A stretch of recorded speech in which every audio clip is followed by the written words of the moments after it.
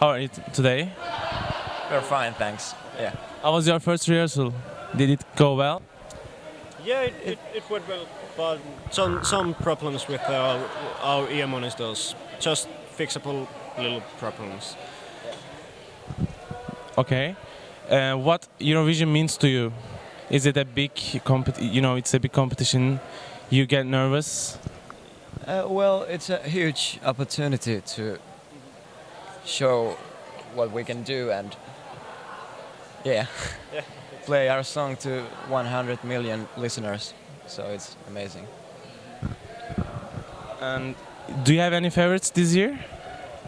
Well, my favorites are Armenia and Greece. Yeah.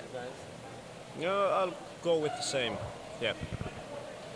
And um, if this year's competition won't be uh, wouldn't be in Denmark, which country would uh, you want to be in in the competing? Which country you would like to compete? In UK, It, it'll be nice. Yeah. Why? Uh, I like the country. Nice people, nice food. Good music. the bomb, the wombats is the best. It's nice. So, okay, is there any message you want to give uh, to fans in Turkey?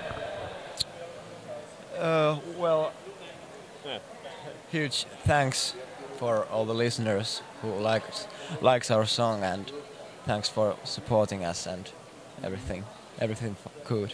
I don't know. and Please, please vote us.